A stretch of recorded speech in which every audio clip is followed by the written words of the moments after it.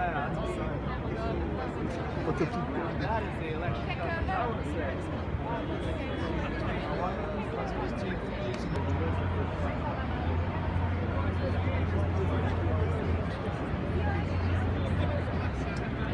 Donald Trump wins the presidency.